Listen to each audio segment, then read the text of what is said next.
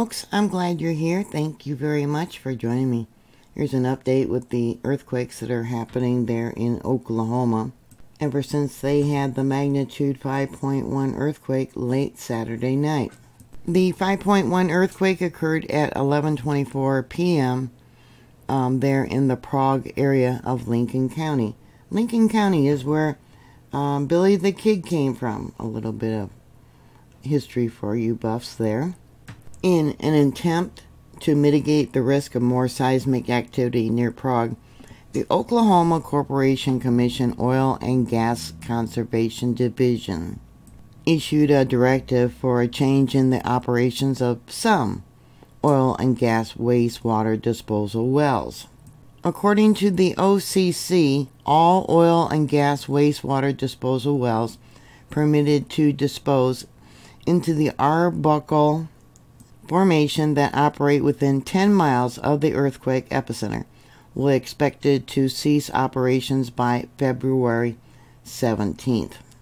A unprecedented increase in seismicity rate in the United States since 2008 has largely been attributed to the large volume of wastewater disposal from oil and gas production in Oklahoma. Several significant induced earthquakes have occurred since 2011, including the 2011 magnitude 5.7 Prague earthquake, which is up over here, and the 2016 5.8 Pawnee earthquake, which would be, let me bring this up, up, let's see here, up over here. Both of which caused considerable damage in the ep epicenter regions. The 2011 magnitude 5.7 Prague earthquake sequence was the first significant earthquake sequence that has been attributed to wastewater disposal in Oklahoma, which ruptured a previously unmapped portion of the Wilzetta fault zone. It's spelled W I L Z E T T A. It actually extends pretty far down. Yeah, all the way down, probably down here to Shawnee. Two people were injured during that 2011 earthquake.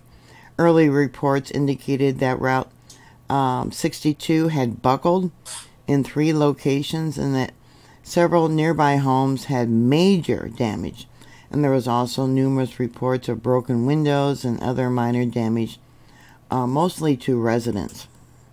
Because of what they call the Coulomb stress, it was discovered that three separate portions of the Wilzetta fault system were activated.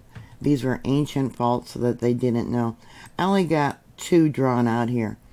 Um, one is the Meeker Prague fault and the Wilzetta fault zone. Let me bring it in a little bit here so you can see it better. So just exactly what is Coulomb stress? I've talked about the moment tensor ball before.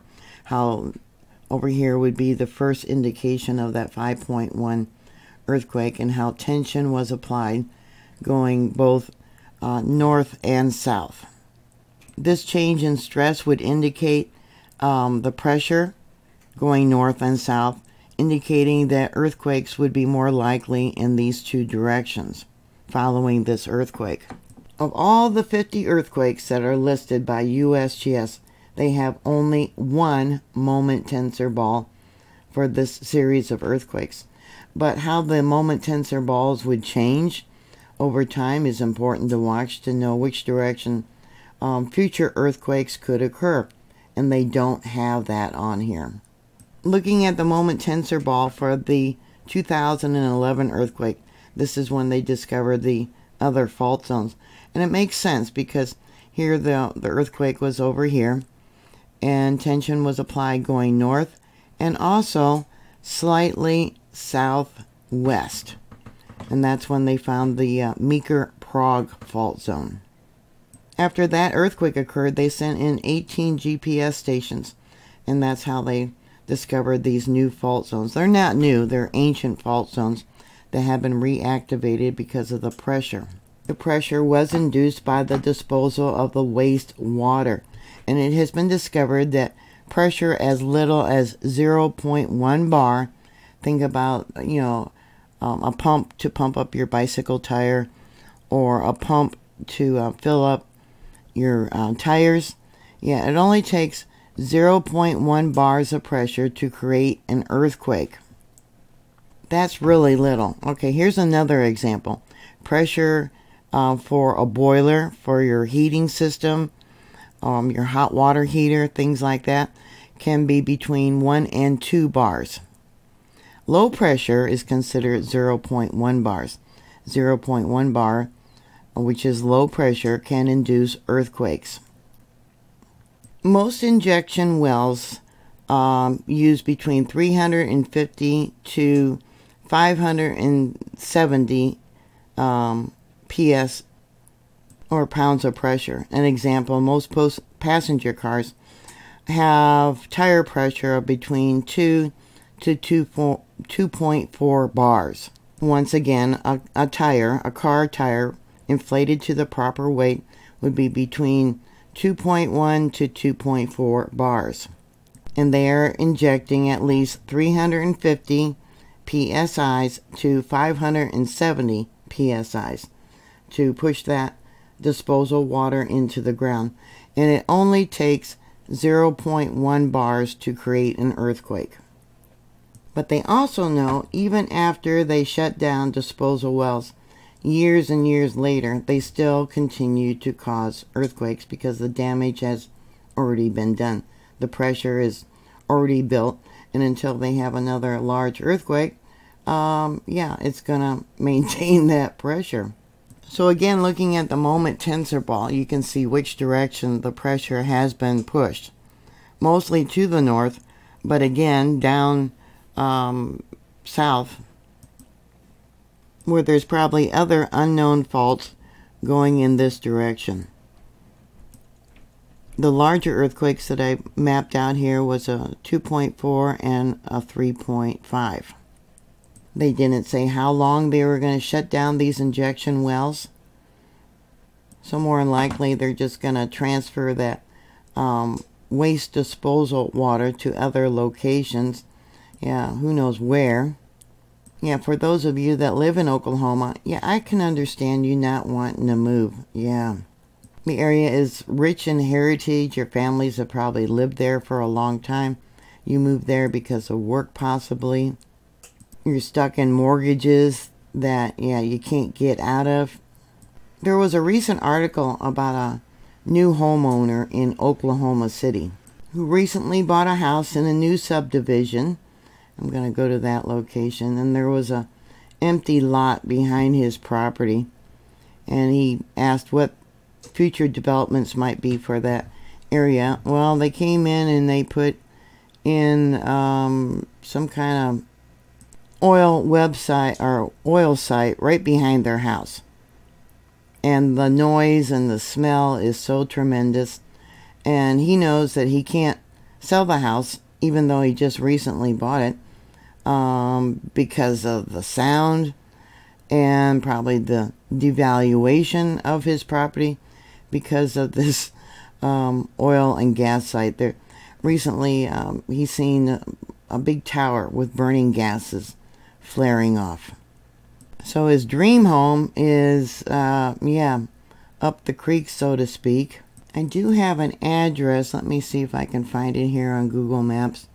The location. Okay, it's a subdivision up over here. Okay.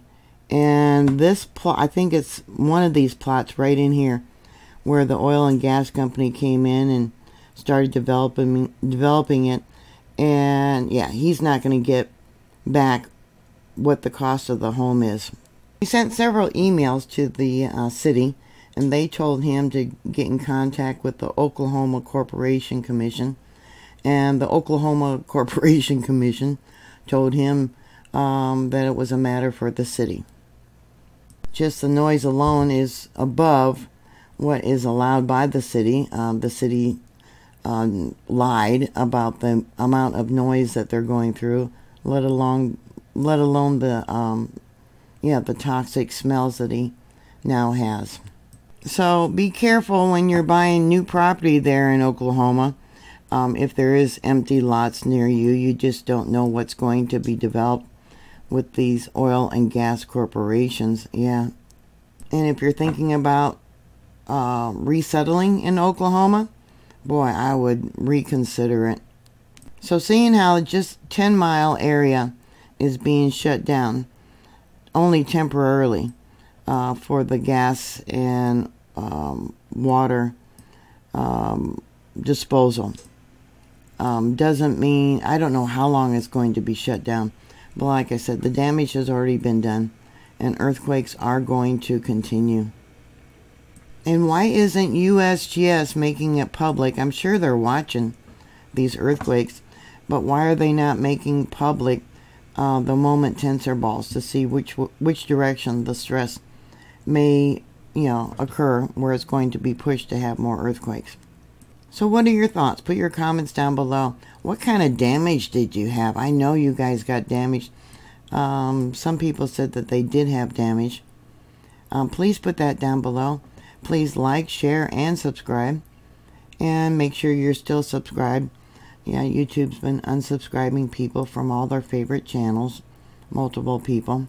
Once they unsubscribe people, they uh, take away that income um, from if they watch the videos or whatever for the advertisements. Please stay safe. Please be prepared. Always be prepared for a large earthquake. And I'll talk to you later. God bless you. Bye.